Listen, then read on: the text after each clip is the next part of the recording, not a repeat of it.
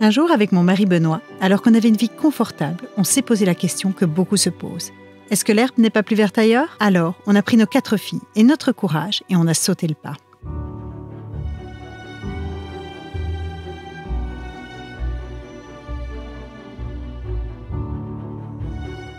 Depuis quelques jours en camping-car sur les routes de la Norvège, il est temps pour nous de vous parler de la réalité de la van life.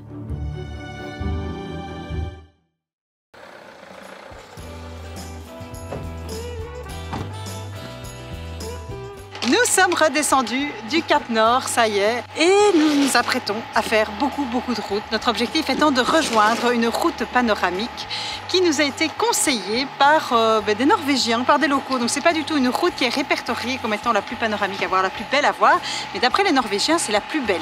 Donc on va aller voir ça, et évidemment, comme on s'apprête à faire pas mal de routes, eh ben, on doit préparer le camping-car, donc pas le choix, on charge en eau. Parce qu'au final, j'ai quand même l'impression de tout faire. Il dit chaque fois ça, mais c'est pas tout à fait vrai parce qu'on est toujours là pour l'aider dans ses tâches. Voilà. Tandis que moi, quand je fais une tâche, généralement, il n'y a personne qui m'aide. Je dois la faire toute seule, je dois me débrouiller. Tandis que lui, on est là, on le soutient moralement. Il fait magnifique, hein. euh, nous sommes euh, vraiment euh, très chanceux parce que actuellement dans le nord de la Norvège, il fait mauvais, il fait dégueulasse, c'est la tempête, plein d'eau, ils ont plein de même des risques d'inondation, donc pour tous ceux qui sont en van c'est très compliqué, il y a beaucoup de routes qui sont fermées, mais nous regardez ça, voilà, il fait 26 degrés au soleil, il fait magnifique. On va aller en bord de mer, donc normalement la vue va être belle, avec le soleil, ça va être vraiment très agréable. Parce que oui, c'est ça aussi la vie en camping-car.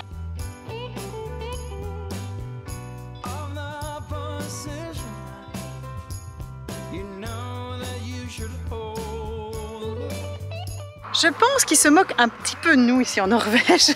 Parce que qui a déjà vu des élans au Cap Nord? Nous, on n'en a jamais vu. On a vu des rennes, mais des élans, non. C'est un peu euh, une publicité mensongère.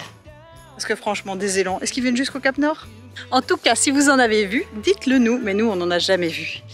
je pense que c'est le même panneau, hein. ils ont piqué le panneau des Suédois. Voilà, moi j'aime bien ça, c'est quand on passe de pays en pays, on a toujours des panneaux différents. Alors là les cerfs, on a parfois les grenouilles qui traversent, ici les élans, c'est quand même chouette, et aussi les motoneiges, il y a pas mal de panneaux pour les motoneiges, et ça c'est quelque chose qu'on ne voit jamais.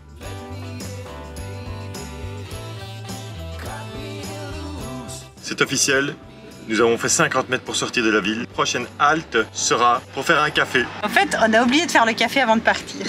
Donc voilà, ce qui n'arrive jamais. D'habitude, on n'oublie pas, on le fait toujours.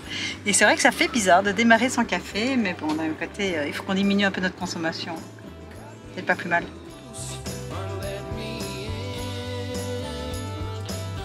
Tout ça observé.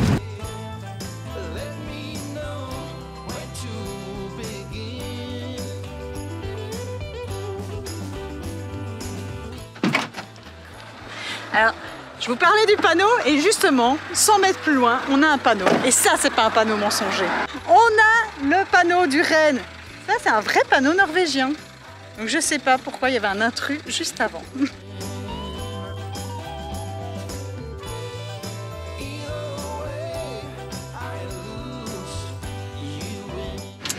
En voilà un très bel endroit pour faire la pause café. Nous allons faire la pause café face à la mer. Préparation du café parce qu'après, de toute façon, on le boira pendant la route. Mais la vue est quand même franchement pas mal.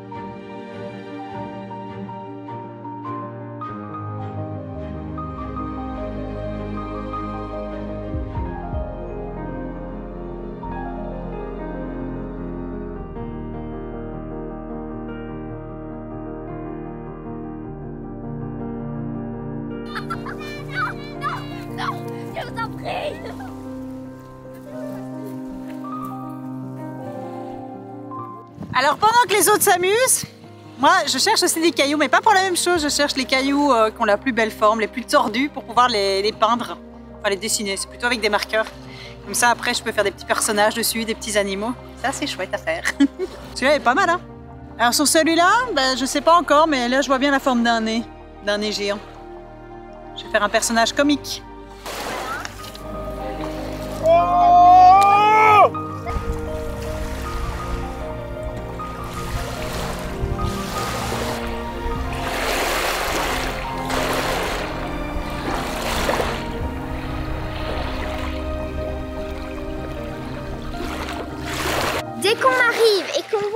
Est si claire, on se dit allez, on va aller mettre les pieds dedans. Mais très mauvaise idée, elle est gelée. Avec si on a été dedans, mais faut lui chanter une chanson pour qu'elle reste dedans.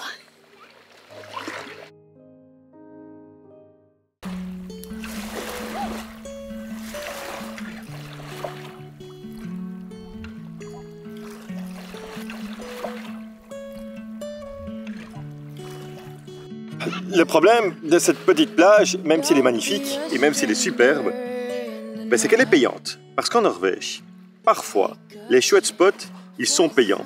Et celui-ci, si vous voulez camper, la nuit, c'est 10 euros. Sans noc.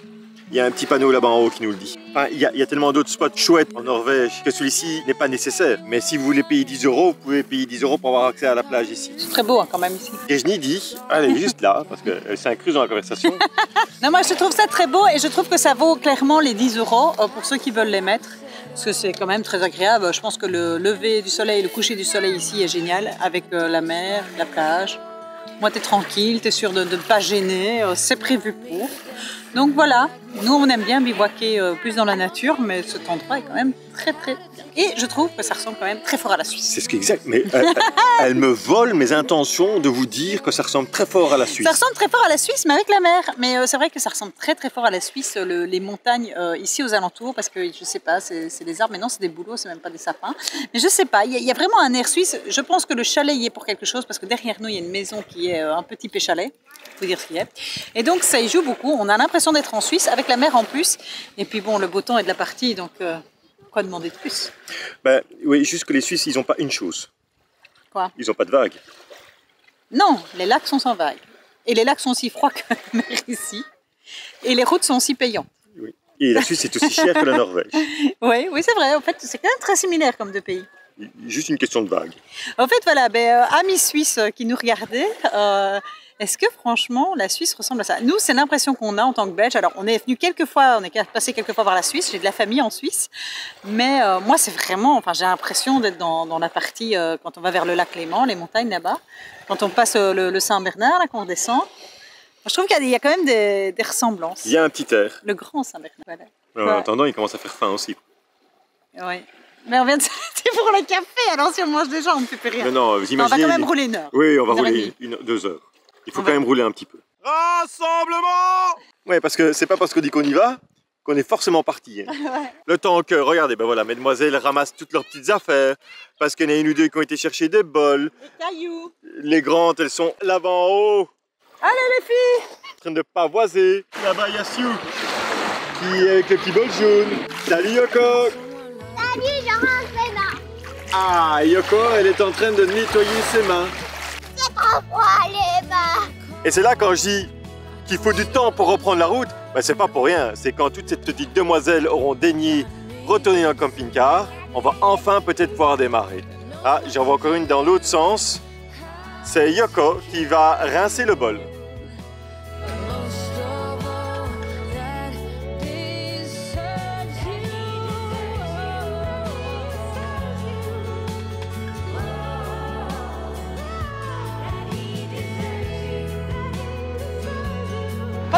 Ce qui est très chouette avec la communauté des camping-caristes, c'est qu'on se dit bonjour. Et donc, au fait, il y a ceux qui sont euh, un peu intimidés et qui, eux, ne disent pas bonjour, mais la majorité disent bonjour. Il y a ceux qui sont un peu timides qui lèvent juste le petit doigt du volant. Il y a ceux qui font des signes comme ça. Il y a ceux qui sont très enjoués et qui font des grands signes. Et puis alors, il y a ceux où le passager fait également signe. Nous, on fait partie de cette catégorie. Souvent, quand quelqu'un nous fait signe, on est tous les deux là, tout contents. Mais je trouve ça chouette, je trouve ça chouette, cette bonne ambiance en camping-caris. Et alors, c'est pas grave pour ceux qui font pas signe, hein, on se ramasse des vents tout le temps, mais c'est tellement chouette.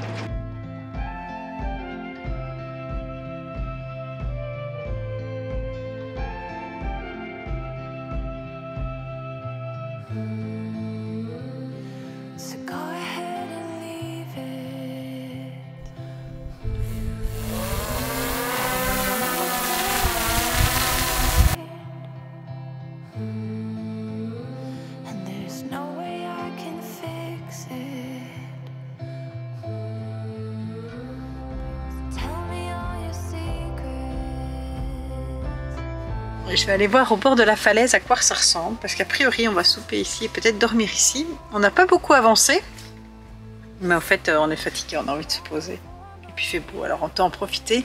Tant qu'il fait beau, aller un petit peu dehors. Malheureusement, la van life a également ses contraintes, ses contraintes logistiques. Nous aurions aimé tant aller là-bas en bas, mais il n'y a pas de route qui y mène, alors on est Non. obligé de... Il y a des endroits en fait où il n'y a pas du tout euh, de route. Il y a des grandes zones de terre qui sont non habitées. Alors c'est très très joli. L'inconvénient c'est qu'il n'y a même pas de petit chemin pour pouvoir aller euh, se balader dedans. Et donc voilà, là j'aurais bien aimé être en contrebas parce que là on est un peu haut pour voir les animaux marins. Mais euh, si on fait encore de la route, ça va faire long pour les enfants et tout. On va quand même s'arrêter ici pour manger. Je suis un peu déçue.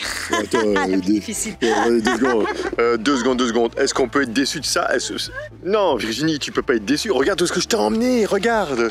C'est magnifique, mais au fait, on en veut toujours plus. non, je voulais être tout en bas, mais là, je risque de tomber dans le vide si je continue à avancer, donc euh, je vais pas y aller.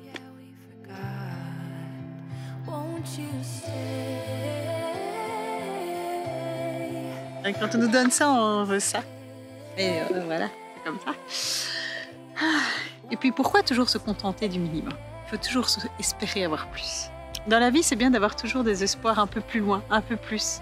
Toujours vouloir un peu mieux.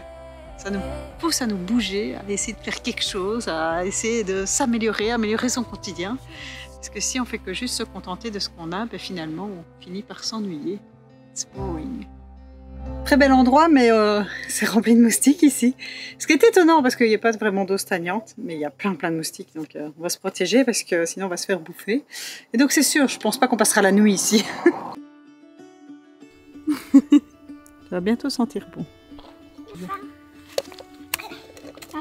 Voilà. Je me suis fait une petite assiette gourmande pour manger dehors. Et c'était tellement gourmand que j'ai déjà mangé une partie de la tartine pour goûter. J'ai fait euh, tartine euh, poulet, une salade de choux, ça ça se fait beaucoup euh, par ici en Scandinavie, c'est des salades de choux et de carottes. Une petite salade et de la feta avec des tomates séchées. Donc voilà, un repas euh, merveilleux pour manger bien frais, pour manger face à la mer. Bon appétit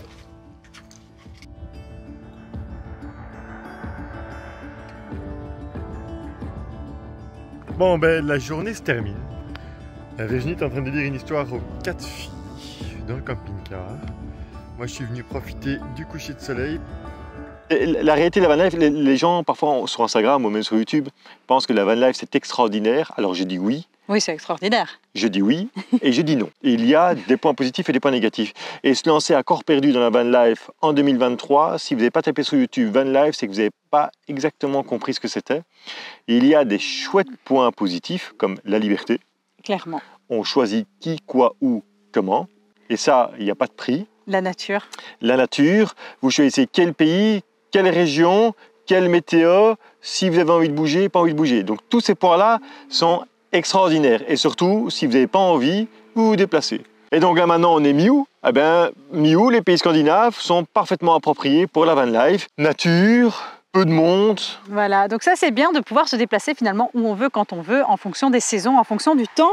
Parce qu'en ce moment il fait très très chaud, je pense, dans le sud de l'Europe. Euh, maintenant au centre de l'Europe, je pense qu'il fait très mauvais. Et nous ici, il fait magnifique. Oui, mais pas toute la Norvège. Nous, on est encore au Cap Nord, Voilà. mais juste en, En dessous de nous, ouais, c'est inondation. J'ai vu qu'il y avait un barrage qui avait pété. L'avantage à Van Life, c'est votre déplacement. Vous pouvez vraiment choisir. Qui dit déplacement dit aussi bah, qu'il y a certaines contraintes en termes de service qu'on ne sait pas y échapper. Trouver de l'eau, les toilettes. Il faut nous, on n'a pas besoin d'électricité parce qu'il y a des panneaux solaires, mais si vous vivez dans un pays où il pleut tout le temps, où il fait dégueulasse tout le temps, il va falloir vous brancher l'électricité, les lessives. Ah, oui, il faut remplir d'eau euh, régulièrement parce que nous, on est 6. Alors évidemment, c'est moins flagrant pour les petites familles ou les, les couples de van lifers. Moi, je vous Ouais, embrasse. qu'ils ont la belle vie. Vous avez une vie où les retraités, vous êtes à deux, vous avez une vie mais, mais extraordinaire ou Plus même, simple. et même encore parfois seul, c'est extraordinaire. Dis tout de suite, t'es mal accompagné. C'est pas une question d'accompagnement, mais euh, je vous vois cet après-midi parce que cette vidéo, là maintenant, ce que vous vivez, c'est filmé le lendemain Ouais. de euh, notre tartine et de notre petite salade avec vue sur fjord. C'est filmé le lendemain et cet après-midi, on a, bah, on a travaillé. hein. On n'a rien fait d'autre. On était se mettre à un chouette spot pique-nique pour les enfants, on pouvait un peu jouer dans l'herbe. Et là, il y avait du monde. Et là, il y avait un peu de monde. Et donc, filmer ce style de vidéo, parce qu'on pensait être seul, c'est pas tout à fait le cas. Et là, on a vu, ben, par exemple, un couple de retraités, de toute l'après-midi, ils se sont mis bien. Ils ont juste profité du soleil. Exactement. Ils, sont- ils ont juste voilà, pris leur petit verre, euh, regardé leur GSM et puis bronzé. Est Ils ont passé une chouette après-midi. Donc, le point numéro un qui est négatif, c'est l'eau, le gaz, l'électricité. En fait, il faut toujours courir derrière quelque chose. Le max que vous avez, c'est quand vous remplissez à fond et que vous partez en bivouac pendant 2-3 jours. Bonjour. Il y a les services et puis alors il y a les spots parce que bon, vous avez entendu, ici il y a quand même pas mal de circulation. Mais en Scandinavie, franchement, on est bien. La majorité des spots sont vraiment en pleine nature, on est tranquille. euh, il fait, euh, tous les services sont là, souvent il y a de l'eau, on s'est rechargé quand même assez facilement. Mais parfois il y a des spots qui sont moins bien. Et on ne sait pas toujours prévoir, et puis on ne sait pas toujours prévoir non plus qui seront nos voisins. Parce que par exemple, hier soir, au souper, on était voisins avec des moustiques. Et ouais, et ça, on ne sait rien y faire, c'est comme ça. Maintenant, la majorité des spots sont bien et que ce soit même les spots qu'on a en France, en Belgique, en Italie, on a toujours trouvé des chouettes spots nature. Évidemment, il y a des pays où c'est plus restreint. On pas, euh, on ne peut pas vraiment euh, camper dans la nature, mais souvent euh, juste le fait de se stationner est autorisé et donc ça permet quand même une grande liberté. Il y a quand même beaucoup d'endroits où on peut se stationner avec un véhicule y être bien. Je vais juste mettre ma petite main. C'est moi qui conduis tout le temps le camping-car. Cherchez un spot alors que vous êtes à bout, que vous avez conduit pendant 2h30, 3h, 4h et que vous tombez pile sur le spot où vous deviez arriver Et que qu'il ça est- va pas. et que ça va pas, c'est pas une bonne chose. C'est toujours à ce moment-là que le spot il est pas bien. C'est toujours à ce moment-là qu'il faut bouger. C'est à ce moment-là qu'il y a des travaux, c'est à ce moment-là. et Il peut toujours arriver quelque chose. À ce moment-là, vous êtes déjà tellement crevé que vous devez encore bouger après. Ouais. Et ça, c'est fatigant. Ouais, on s'en rend pas toujours compte. On pense que c'est, on trouve facilement le spot et qu'on y est bien, mais en fait parfois on fait vraiment beaucoup de kilomètres pour un spot et puis on est déçu et puis euh, et puis parfois euh, par contre euh, on fait euh, pas beaucoup de kilomètres entre deux endroits et on se trouve que l'endroit suivant est très très bien et donc finalement on y reste et on a finalement fait beaucoup moins de kilomètres que prévu. Et kilomètre égale essence. Ouais. Et ça va vite. Hein. Et ça, là, ouais, la van life, c'est beaucoup de déplacements, c'est tout le temps sur la route. Parce que même si on n'est pas trop en mode tourisme comme nous, parce que nous, on ne fait pas beaucoup les lieux touristiques, on passe quand même beaucoup de temps en voiture. Et ça, ça amène un autre inconvénient de la van life. Ben, finalement, c'est qu'on ne bouge pas beaucoup. Quand on est dans le véhicule, on reste assis. Alors, je pense que c'est un peu le syndrome des routiers. c'est la même chose. On ne fait pas d'exercice. Et donc, il faut se forcer parfois à sortir du camping-car. Parce Ouais. qu'on a le confort dans le camping-car. Donc, on n'a pas tendance toujours à vouloir bouger. Ou dès qu'il fait un peu mauvais, on reste à l'intérieur. On fait beaucoup de route, on reste beaucoup assis. Et on ne fait pas d'exercice. On s'empâte. faut dire ce qu'il y a. Et donc, nous, on, on garde notre tradition euh, malaisienne qui est de marcher 10 000 pas par jour. On y arrive presque tout le temps. On n'y arrive pas tout le temps parce que parfois il y a des journées euh, de tournage ou des journées où on est là pour voir les animaux. C'est le bruit qui t'ennuie des voitures? Les voitures, elles Ah, font beaucoup de bruit, ouais. Vas-y ma princesse. Et donc on garde cette fameuse tradition malaisienne qui est on essaie de faire 10 000 pas par jour. Ouais. Mais parfois, ça, ne- ça ne suffit pas, parce que là, on se rend compte que 10 000 pas par jour, bon, pour le moment, clairement, les effets sont quand même positifs sur notre santé, hein, parce qu'on se force à bouger. Mais je pense qu'on devrait quand même réintroduire un peu de sport dans notre routine euh, de la semaine, parce que c'est vrai qu'on n'en fait plus beaucoup. On a été euh, fort préoccupés ces derniers temps, et puis on n'y a plus pensé. Et puis, le sport, c'est comme ça. hein. Euh, quand vous en faites tous les jours, ça devient facile, ça devient easy de les faire, c'est régulier. Mais dès qu'on laisse passer trop de jours entre deux séances, au fait, très vite, c'est dur de s'y remettre. Et là, il faut qu'on s'y remette. Voilà, maintenant j'ai 40 ans, que je me remette au sport. Et j'en profite pour vous remercier pour tous les messages que vous m'avez faits pour mes 40 ans. Ça m'a fait super plaisir. J'ai lu tous vos commentaires. Alors, on n'a pas encore répondu à tous. On est encore en train d'y répondre. Mais un tout grand merci. Ça m'a fait très, très plaisir. Et puis, oui, je deviens vieille. Bah, la vie comme ça. non, nous, on n'a pas vraiment eu de problème. Nous on n'a pas de soucis parce que je pense qu'on fait attention à où est-ce qu'on va, est-ce qu'on fait, et aussi aux remarques et aux avis sur par exemple Park Fortnite. On, on- dès qu'il y a le moindre suspicion, on bouge directement. Nous, on, est, euh, on préfère bouger plutôt que voir que le problème si, arrive. si à un moment on se sent moins à l'aise parce que ben, simplement euh, il y, a- il y a des gens qui ont bu autour de nous, ce genre de choses, on va déplacer le véhicule pour éviter euh, ben, d'avoir un accrochage, pour éviter qu'il soit abîmé, pour éviter qu'on ennuie les enfants aussi, hein, parce que c'est surtout leur sécurité avant tout. Euh, maintenant, je ne sais pas si, si j'étais seule avec les enfants, je serais peut-être moins à l'aise, moins franche que quand je suis avec Benoît. faut dire ce qu'il y a. hein. Avoir un grand gaillard avec ça, ça aide pour ça. Mais on n'a jamais vraiment senti vraiment d'insécurité. Non, parce Ouais. qu'on choisit bien. La van life, c'est extraordinaire. Là, on met des points négatifs, mais il y a énormément de points positifs et ça se transmet, je pense, de nos vidéos. Et en parlant de ça, on doit vous remercier. Parce que on l'a vécu il y a quelques jours, mais on a toujours peur de, de descendre. On est arrivé à 10 000 abonnés et on avait tellement peur de redescendre en dessous qu'on s'est fait On va, quand même, ouais, on va quand même attendre un petit peu. Et maintenant, on a plus de 10 400. C'est grâce à vous. C'est à vous qu'on le doit. C'est vous qui nous suivez. On commence à avoir des, on dit ça, des réguliers. C'est vraiment chouette de, vous voir. Et puis c'est chouette aussi de voir les nouveaux qui arrivent, des personnes qui se mettent à commenter alors qu'elles regardent depuis le début mais qui ne commentaient pas avant. Ça, c'est très très sympa.